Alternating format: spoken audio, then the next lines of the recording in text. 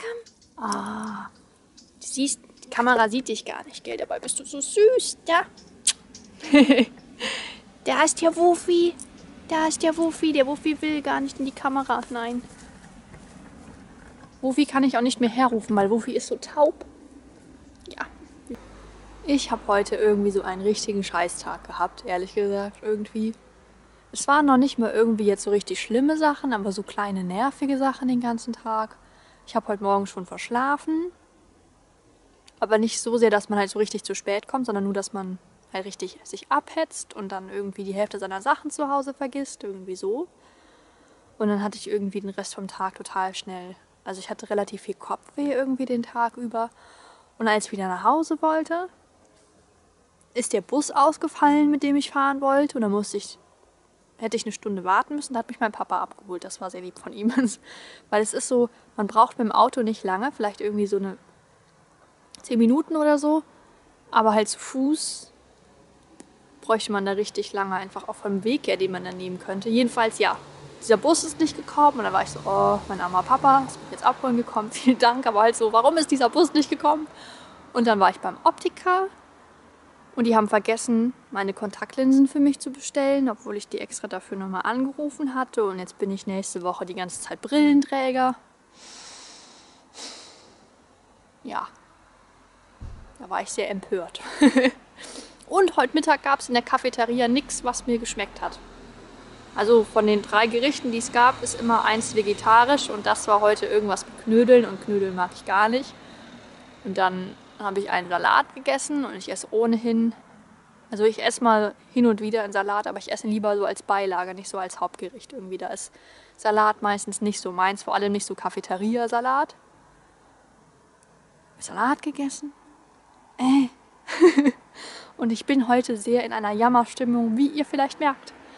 Sehr in einer Jammerstimmung und ich gehe mir selbst sehr auf den Keks und das ist nicht, nicht ideal. Aber Heute war meine Betreuerin wieder da, die war ja jetzt zwei Wochen in Urlaub. Es hat eigentlich ganz gut geklappt alleine. Ähm, wobei ich sagen muss, die erste Woche an sich hat gut geklappt. Das hat auch Spaß gemacht und so. Jetzt die zweite Woche war ziemlich schwer. Ähm, einfach weil wir viele schwierige Patienten hatten. Also zum Beispiel eine Frau, die komplett gar nicht sprechen kann und die teilweise halt so mit Nicken und Kopfschütteln Antwort geben kann, aber die halt teilweise einfach überhaupt nicht auf einen reagiert. Das heißt, man fragt sie etwas und sie reagiert gar nicht. Und ich glaube teilweise, weil sie nicht reagieren möchte und nicht, weil sie nicht kann. Und das, hat, das war irgendwie schwer und einige sehr tragische Fälle hatten wir irgendwie und da ist mein Onkel gerade reingefahren. Und äh, da war ich halt irgendwann schon so in der Woche so, ich bin froh, wenn nächste Woche ich nicht mehr alleine damit bin, sondern jemanden fragen kann, wie man das macht, weil es halt echt nicht einfach war. Und dann, heute haben wir, was haben wir heute? Montag. Montag haben wir heute. Vorletzte Woche Freitag hat meine Mama die erste Chemotherapie bekommen und es war dann bei ihr so, die ersten zwei Tage waren ziemlich gut. Da hatte sie nur so irgendwie hat sich so ein bisschen schwächer gefühlt als sonst, aber es war sonst größtenteils okay. Die nächsten zwei Tage, also halt die ersten zwei Tage nach der Chemo war es okay und die nächsten zwei Tage waren nicht mehr so okay. Da war, da hatte sie ähm, vor allem Kreislaufprobleme und die dann halt ziemlich stark und auch also Chemotherapie und auch andere Therapien gegen Krebs trocknen die Schleimhäute sehr aus. Und ähm, dadurch kriegen die Leute dann zum Beispiel Verletzungen im Mund und all das. Und sie hat halt jetzt auch eine Entzündung im Mund gehabt und so. Und halt jetzt nächsten Freitag kommt die nächste Chemotherapie. Es ist halt, ja, ich habe manchmal das Gefühl, es wird, gerade auch wenn man Filme sieht, wo Krebs drin vorkommt oder so, es wird häufig auch irgendwie sehr so verharmlost. Also so, ja, jemand hatte Krebs, dann ist er zur Chemo gegangen, dann war es halt so ein bisschen schwierig und dann war man wieder gesund und halt so, so merken wir, ist es halt nicht unbedingt. Und sie kriegt halt auch, das ist halt auch, das spielt noch mit da rein, sie kriegt eine ziemlich aggressive Chemo. Einfach weil es gibt sozusagen verschiedene Einstufungen von Krebs. ist irgendwie G1, G2, G3. Ich glaube, G1 ist nur so ein bisschen auffällig. Und bei Krebs ist es ja so, dass sich die Zellen unkontrolliert viel teilen. Und dann gibt es diese Einteilung G3 und da ist es schon so, dass die Zellorganellen innerhalb der Zellen sich so unkontrolliert viel teilen, dass die Zelle aufgeht, dass die Zelle das gar nicht alles halten kann und das hat sie. Und dann kriegt man halt eine sehr aggressive Chemo gegen diese aggressive Form von Krebs. Meine Güte! Könnte meinen, es wäre Rush Hour. Meine Güte, was waren die Autos? Vielleicht bin ich auch nur schon so schnell angenervt heute, dass ich bei jedem Auto denke, was tust du hier? Da wird man jetzt einfach sehen müssen, wie ich das halt schon mal gesagt habe, wirklich so einen Schritt nach dem anderen. Ja, so, da muss man halt jetzt sehen, wie es weitergeht. Sonst beim Praktikum auch, wie gesagt, die erste Woche war ganz gut. Da hatte ich, ich hatte eine Patientin, die wurde eher von den anderen Leuten da so ein bisschen als schwierig bezeichnet und die war bei mir am Anfang auch so ein bisschen schwierig. Aber am Ende konnte ich richtig gut mit der arbeiten irgendwie. So, da musste man nur so ein bisschen sozusagen wie das Eis brechen und dann ging das auch irgendwann. Ich hatte auch eine Patientin, das war richtig krass. Die war so mega religiös, also so richtig, richtig, richtig religiös. So, die hat auch zum Beispiel geglaubt, dass die Welt in sieben Tagen erschaffen wurde und so halt so, dass so die Sachen, die in der Bibel stehen, alle halt wirklich so genau so passiert sind. Und das war schon, boah. ähm, die war auf ihre Art schon sehr nett und irgendwie herzlich, aber es war manchmal sehr, sehr schwer, einen Zugang dazu zu finden, weil bei allen Übungen, die man mit ihr gemacht hat, kam sie irgendwann an einen Punkt, wo sie eigentlich nur noch die Bibel zitiert hat und nicht mehr so ihre eigenen Gedanken und Gefühle irgendwie ausgedrückt hat. Und auch so, ich hatte das Gefühl, eigentlich hat sie total Angst vor dem, was passiert, aber weil sie ja eigentlich gelernt hat, nach dem, nachdem ich sterbe, passiert das und das und das und ich sollte das eigentlich wissen und ich sollte daran glauben, ist es für mich eigentlich Blasphemie zu sagen, ich habe Angst, weil das würde ja heißen, ich vertraue Gott nicht so. Ne? Und dann hat sie das sich selbst einfach überhaupt nicht zugestanden. Also konnte das überhaupt nicht irgendwie sagen, ja, ich habe Angst davor.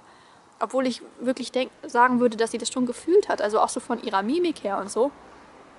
Aber sie konnte das sich selbst überhaupt nicht eingestehen und so. Das war richtig krass.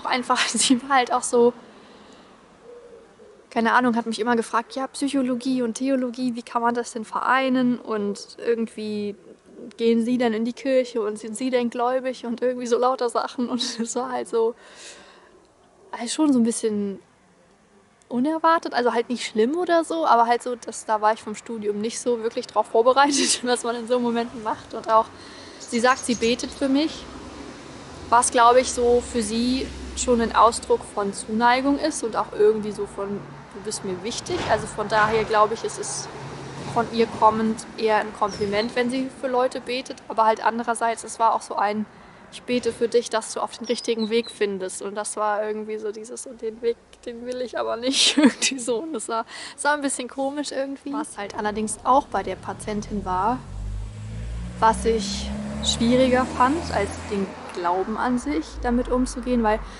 diese Dinge sind halt für mich normalerweise so, ich lasse denjenigen halt einfach in seinen Annahmen. Wenn er das, wenn jemand diese Meinung hat, dann bin ich dann niemand, der anfängt zu diskutieren oder so. Und ich sage dann auch nicht irgendwie so, glauben Sie doch nicht an die Evolution oder so, sondern das ist einfach für mich dann okay, das ist für denjenigen so fertig.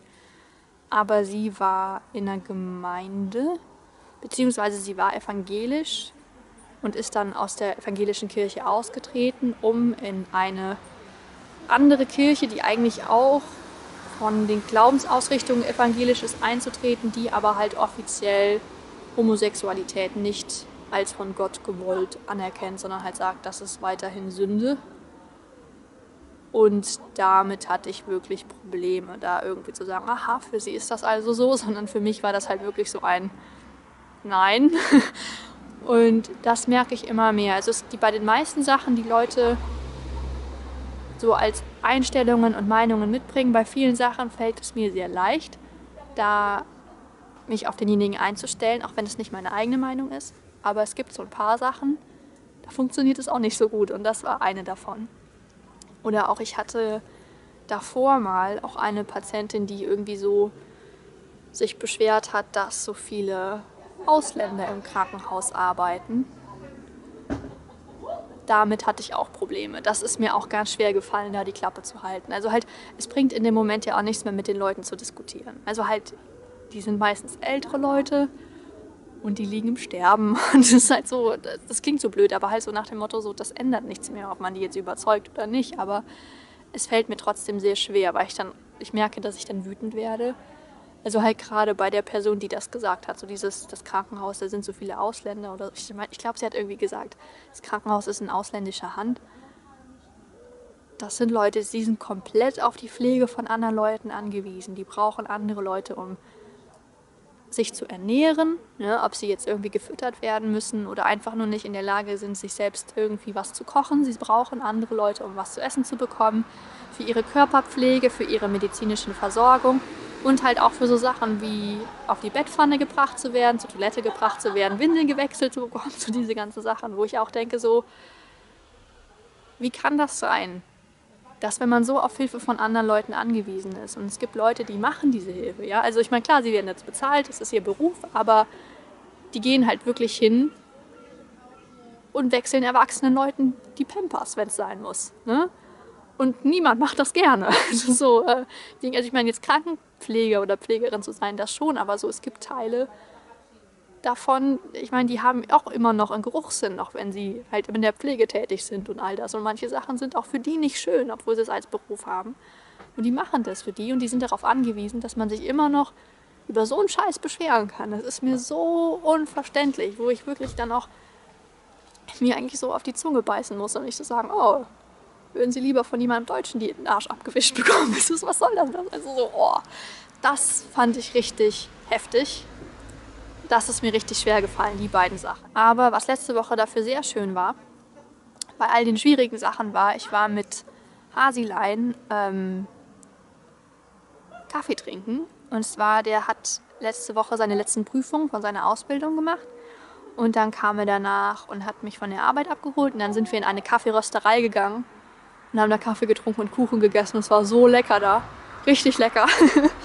und äh, dann und das war voll cool, weil direkt gegenüber von dieser Kaffeerösterei war ein Wollgeschäft und ich liebe ja Stricken und Wolle und ne? Und ich hatte gerade eine Jacke, an der ich ewig lange gesessen habe, hatte ich gerade fertig gestrickt und ich habe die euch auch mitgebracht, um sie euch zeigen zu können. Ah, sie ist riesengroß, ja. Also sie hat so eine Kapuze. Könnt ihr das sehen? Das ist die, das ist die Kapuze und die hat hier so einen flauschigen Teil. Und dann ist das. das ist die Jacke. Genau. Und an der hatte ich ewig gesessen und dann war halt gegenüber so dieses Wollgeschäft und ich war so, oh Hasi, ich muss gleich in das Wollgeschäft rein. Und dann waren wir da drin und halt die Verkäuferin war so ein bisschen unfreundlich, nicht so direkt unfreundlich, aber so ein bisschen, dass man so merkt, so, nee. Und die Wolle da war auch nicht so schön und dann meinte ich irgendwie zu Hasi, also die Verkäuferin hat das nicht ge gehört, als ich das gesagt habe, das wäre ja sehr unhöflich gewesen, aber meinte ich so zu Hasi so, äh, das Wollgeschäft in der anderen Stadt ist irgendwie viel cooler, weil ja, wir waren in einer Stadt und in der Nachbarstadt sozusagen gibt es ein Wollgeschäft, das ist der Hammer. Da gibt's, also das ist richtig toll. Die Leute, die da arbeiten, die wissen so viel von dem, was sie da machen. Und wenn man zum Beispiel da hingeht und möchte was stricken und diese Wolle, die dafür gebraucht wurde, die gibt es nicht mehr, die ist aus dem Sortiment genommen worden, dann wissen die direkt irgendwie, ah, das könnte man stattdessen nehmen und das kann man schön kombinieren und irgendwie das ist wärmer und das ist irgendwie leichter und irgendwie lauter so Sachen von Wolle. Richtig cool. Und die haben auch eine viel schönere Auswahl.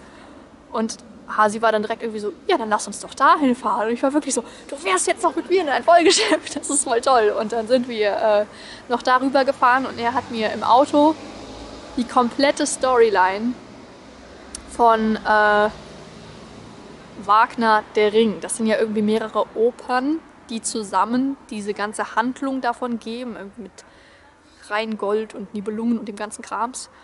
Und es war eigentlich richtig spannend. Ich mag Wagner nicht so von der Musik her, das gefällt mir nicht so. Aber die Storyline war total spannend, vor allem es war total ähnlich der Storyline von Herr der Ringe. Nur mit so viel Toten und so viel Inzest wie bei Game of Thrones. Ich dachte, oh, okay. Und dann habe ich so schöne neue Wolle bekommen. Ich zeige euch das mal bin nämlich jetzt im Pulli am Stricken. Und wann war das? Letzte Woche Donnerstag? Ja, letzte Woche Donnerstag. Jetzt haben wir Montag. Das habe ich gestrickt seitdem. Aber es sind noch Nadelstärke 8, die die stricken, die wissen von euch auch. Das geht dann auch recht schnell. Und ich kann euch das mal zeigen. Ich hoffe, ihr seht das so ein bisschen. Aber da sind so ganz kleine Perletten so in der Wolle drin. Das sieht man von weiter weg gar nicht so. So sieht die ganz schlicht aus. Aber manchmal glitzert das so ganz leicht so ein bisschen. Und das sieht, also ich weiß nicht, wie gut es auf der Kamera aussieht. Aber so direkt sieht es total schön aus und ist einfach, oh, total kuschelig. Und ja, ich bin mit dem Rückenteil fast fertig. Es ist ein langer Oversize-Pulli, deswegen ist das Ding so, so mega, mega lang. Man denkt irgendwie, was strickst du einen Schal? Und es ist so, nein, es ist ein Pullover. und es sind zwei Wollknäule, mit denen man dann gleichzeitig strickt. Das ist hier einmal die Wolle. Die ist, habe ich gemerkt, auch hier in der Jacke drin und zwar da. Ja, ich könnte, wenn's, wenn es jemals so kalt wird, dass man diese beiden Sachen übereinander anziehen sollte, dann geht das. Und hier, das ist die Wolle mit den Perletten drin. Ist das nicht total cool? Aber diesem kupfernen und diesem hellen. Aber das wirkt halt in der Jacke oder in dem Pullover selbst dann viel dezenter, weil es halt dann nicht so auf einem Dings ist, sondern halt immer nur ab und zu mal so. Also ihr könnt das sehen, hier ist eine Perlette. Da und dann kommt hier erst die nächste und im ganzen Teil dazwischen ist halt so einfach nur die Wolle selbst. Von daher so ein bisschen schlichter, aber das war mega cool an letzter Woche. Und ja, jetzt bin ich froh, dass meine Betreuerin wieder da ist. Ich habe nächste Woche.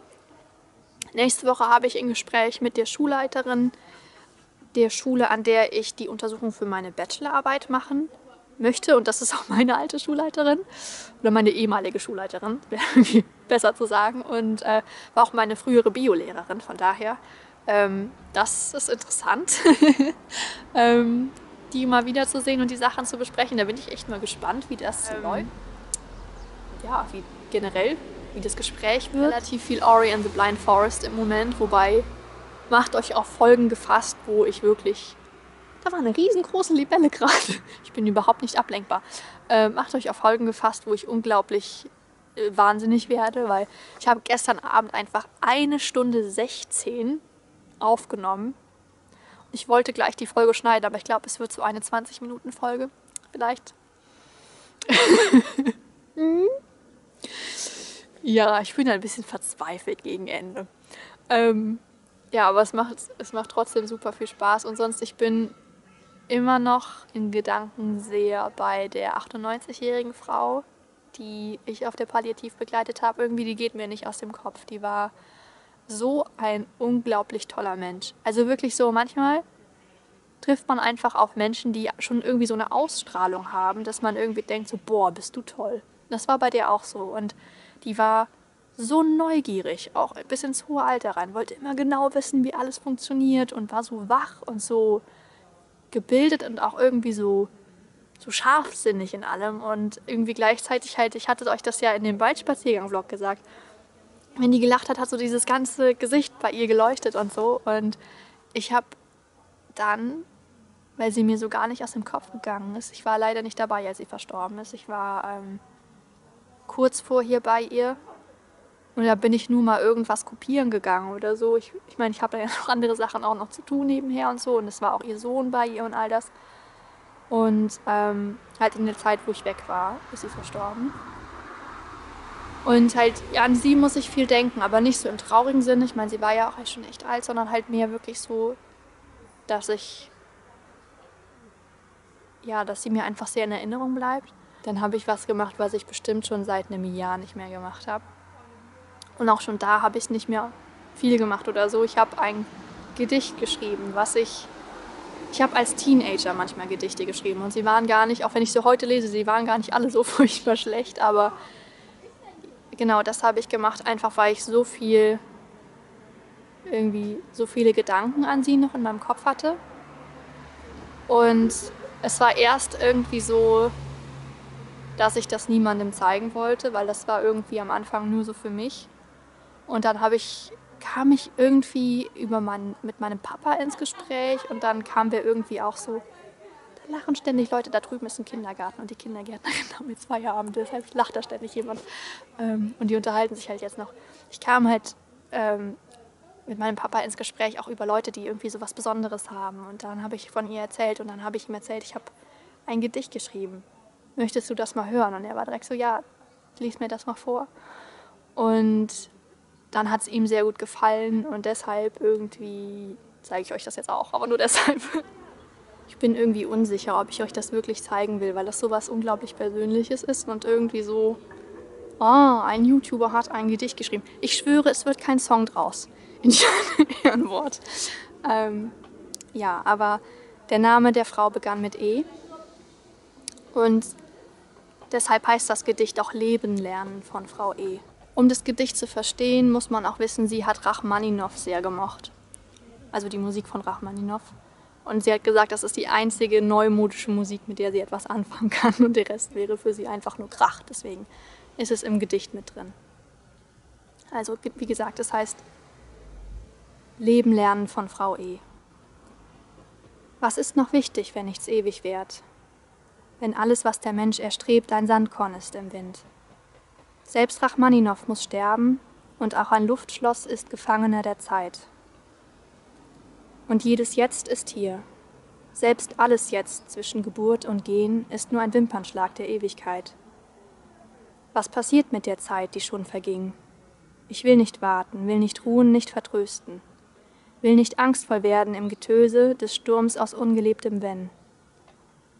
Trauer ist wohl nichts für Feiglinge, und Birnen wachsen auch im nächsten Jahr. Regen fällt noch immer aus dem Himmel auf die Erde, nur du Du bist nicht mehr da.